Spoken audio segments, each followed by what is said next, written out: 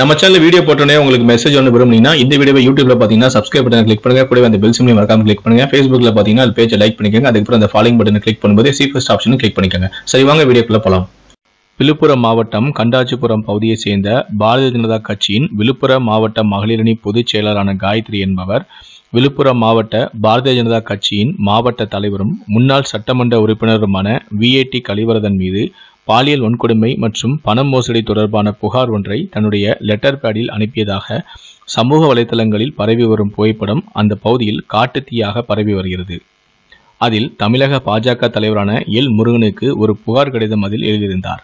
அந்த கடிதத்தில் விழுப்புரம் மாவட்ட பாஜக தலைவரான விஏடி கலிவரதன் தன்னை கட்சியின் மாவட்ட மகளிரணி தலைவி பொறுப்பு வாங்கி தருவதாகவும் அதற்காக தன்னிடம் ஐந்து லட்சம் ரூபாய் பணம் வாங்கி ஏமாற்றி உள்ளதாகவும் தன்னை மிரட்டி பலமுறை பாலியல் வன்கொடுமை செய்துள்ளார் என்றும் மேலும் கொலை மிரட்டலும் விடுகிறார் என்றும் தற்போது தன் குடும்பம் நிற்கதியாக உள்ளது. எனவே மாவட்ட தலைவர் மீது ஒழுங்கு நடவடிக்கை எடுத்து தனது வாழ்க்கைக்கு தீர்வு காணுமாறும் கேட்டுக்கொள்கிறேன் என்றும் தெரிவித்திருந்தார்.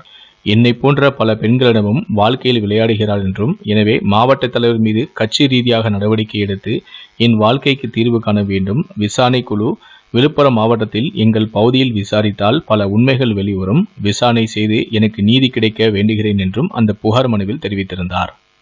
இந்நிலையில்தான் விழுப்புரம் மாவட்ட பாஜக தலைவர் மீது மகளிரணி நிர்வாகி பாலியல் புகார் அளித்துள்ள நிலையில் இருவரும் பேசிய ஆடியோ ஒன்று தற்போது சமூக வலைதளங்களில் வைரலாகியும் வருகிறது.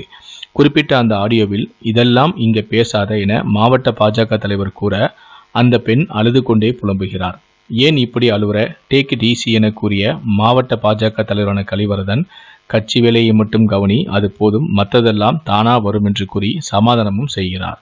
இது தொடர்பாக ஆடியோ வெளியாகி வைரலாகி வரும் நிலையில் இது குறித்து பேசிய கலிவரதன் திமுக உள்ளிட்ட எதிர்க்கட்சிகள் பிஜேபியின் வளர்ச்சியை தடுக்க வேண்டும் என்பதற்காகவும் என் மீது வீண் பழி சுமத்தி களங்கத்தை ஏற்படுத்த வேண்டும் என்று இப்படிப்பட்ட செயல்களில் ஈடுபடுவதாகவும் குற்றமும் சாட்டினார். பணம் வாங்கி கொண்டு பதவி போட வேண்டிய சூழலில் எங்கள் கட்சி இல்லை எனவும் பாஜக நேர்மையான கட்சி எனவும் ஆன்மீக ஆன்மீகமான கட்சி எனவும் ஒழுக்கமான கட்சி எனவும் விழுப்புரம் மாவட்டத்தில் நம்பர் ஒன் கட்சியாக பாஜக செயல்பட்டு கொண்டிருப்பதை தடுக்க வேண்டும் என்பதற்காக சூழ்ச்சியில் இறங்கியிருக்கிறார்கள். ஆகையால் என் மீது வீண் பழி சுமத்துகிறார்கள் என சமூக வலைதளங்களில் வாயிலாக வீடியோ பதிவின் மூலம் தெரிவித்துள்ளார்.